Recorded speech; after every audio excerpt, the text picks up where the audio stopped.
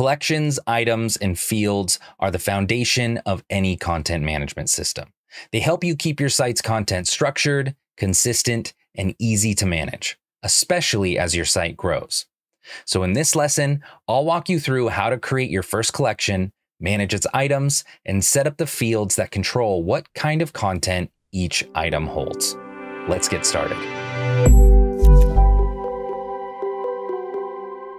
To quickly recap from the last lesson, a CMS collection is like a folder that groups related content. Inside that folder are items, and each item follows the same structure, defined by a set of fields, which are the type of content within an item. So now that we've got that fresh in our minds, let's walk through how to set up your first CMS collection in Framer. To get started, click on CMS in Framer's top menu bar. This will open a new sidebar where all our collections will live. But since we don't have any set up yet, you'll see a few options, like importing a collection from an external source like a CSV file, or starting with Framer's sample blog. But for this lesson, we're starting from scratch. So I'll go ahead and click the plus icon next to the word collections to create our first one. Now it's time to name our collection. It's always a good idea to choose something clear and descriptive like blog posts, team members, or products. A good name keeps things organized and easy to manage as your site grows. For this example, I'm creating a simple blog, so I'm going to name this first collection Articles. Now, before we dive into making our first item, let's take a closer look at fields since they hold the structure of our item's content. To do that, I'll click Edit Fields at the top to open a panel where I can add or customize the fields for this collection.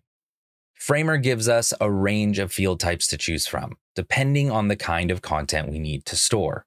By default, it starts us off with two of the most common a plain text field, which is great for short content like names or titles, and a formatted text field, which works well for longer content like blog articles or bios. You'll also see a slug field that's been automatically added. This is required for every CMS item and is used to generate the item's URL when we start creating pages from our content. We'll dive deeper into how that works in a later lesson. To add a new field, just click the plus icon in the top right corner of the panel. This opens a list of all the available field types you can use. Some of the most commonly used include image fields for things like profile photos, banners, or thumbnails, link fields for URLs, calls to action, or buttons, and toggles, which are perfect for simple on off switches, like when you're marking an item as featured. There are also other options like color, numbers, and date fields, giving you the flexibility to shape your content exactly how you need it. Since I'm creating a blog, I'll go ahead and add an image field for my banner image and a date field to show when the article was written or published. Each field we add comes with its own set of properties that we can adjust to better fit our content needs. For example, I can change the name of the field to keep things clear and organized, like changing the image field to, say, banner, or add a description to help explain what kind of content should go there which is especially helpful if I'm going to be collaborating with a team. One of the most commonly used properties is the required toggle. Turning this on makes sure that every item in your collection includes content for that field before it can be saved or published to your site. Adjusting these properties give more control and flexibility over how content is structured and managed within the CMS. Now that we have our field set up, it's time to add our first item. So I'll go ahead and click on New Item, which will create a blank item using the fields I just defined. From here, we can start filling in each field with content, adding a title, uploading my banner image, choosing a date, and so on.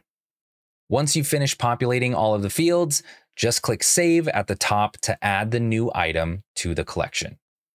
If you ever need to make changes, just click on the item from the list. It'll reopen so you can edit any existing fields or fill in any new ones you've added later. You can also right click an item to duplicate it, which is great for adding new content quickly.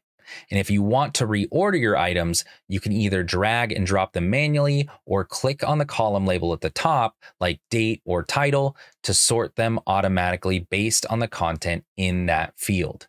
Something that'll be extra useful when we dive into collection lists in an upcoming lesson. Now that you know how to create a collection, set up fields, and add items, you're ready to start populating your collection with real content.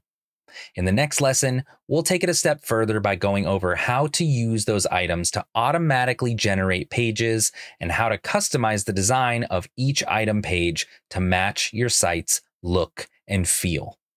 See you there.